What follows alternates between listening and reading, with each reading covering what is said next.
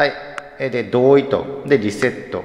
さあ、ウィーラーアプリやっていきます。え、今回、ブラジルガチャ、もう一回引きます。いや、なんで引くんだよと。まあ、ネイマールもチアゴシューバー、えこちらの選手引いてきたんですけども、まあ、2点引く理由があります。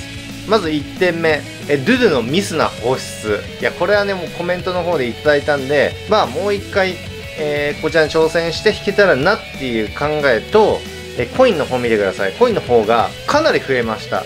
というのもこちらのイベントチャレンジイベントで、まあ、詳細の方見るとですねクリア報酬の方がまああるんですね。で初回250コインチャレンジ2で初回500コインでチャレンジ3で1000コインももらえるんですよ。で合計まあ、250コインで1回なんで、まあ、このステージをクリアしてれば単純に7回無料で引けるというか、まあ、報酬でいただいた分引けるということになります。まあ、ただこのガチャとかではなくて、まあ、スタミナの回復であったり、まあ、契約とかも、まあ、コインなんでね、まあ、そちらの方で使ってはいけるんですけども、せっかく入ったんでね、まあ、7回分、えー、引いていこうかなと思います。で、さっき言った、まあ、ドゥドゥが欲しい、まあ、ネイマールとチアゴシーバー、こちらの方はかぶっても全然 OK なんですよ今回。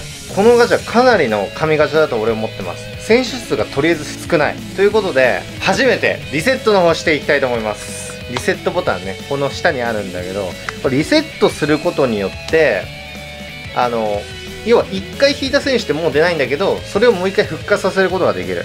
えー、今現在はまあ獲得可能選手っていうところでもう引いた選手黒くなっちゃってもこれ絶対出ません。出ないんですけどリセットを実行しますか。リセットを行うと獲得可能選手が初期状態に戻ります。はい、え、で同意と。でリセット。そうするとはい33に戻りました。はいこっからですよ。7回、えー、引いていきます。どんな結果になるのか。じゃあ1回目からいきます。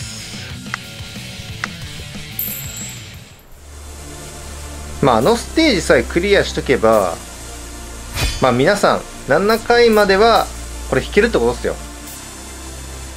はい、ゴールド。ロベルト・フィルミノ。セカンドトップ。はい、こんな感じです。それでは2回目。選手の枠足りるかな？さあ、何くんだろう？シルバー。シルバーだったらドゥドゥ。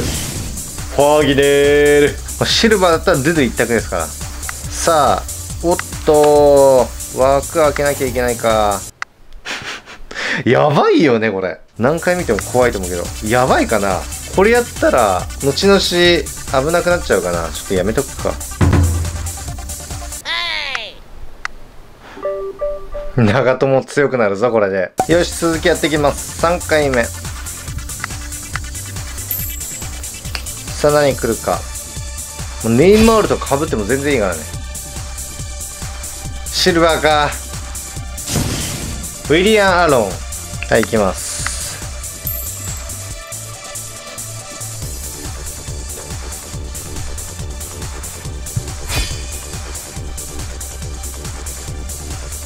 シルバー多いな。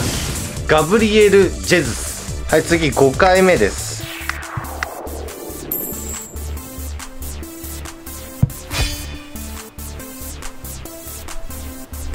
あー、ゴールド。風ビロ。結構持ってるんだよね。もう3人ぐらい持ってる。次6回目。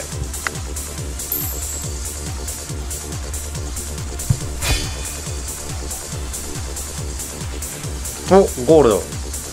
まあ、黒玉来ないかな。マルキーヨンス。さあ、ラスト。とりあえず、ラストですね。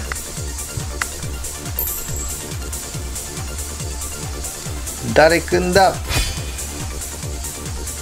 おゴールド。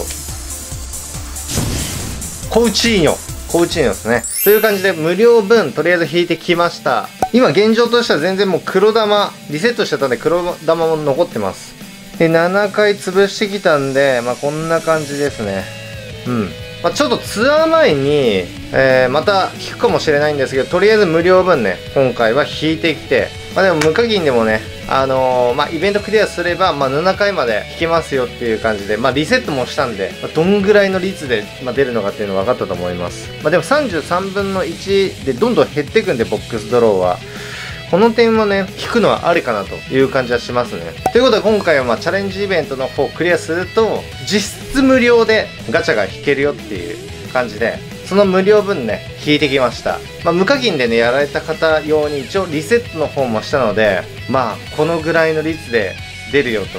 まあでもボックストローは俺引いて全然いいと思いますんで、まあネイマールとかもいるし、まだね、やられてない方はやってみてください。ということで、また次回の動画でお会いいたしましょう。さよなら。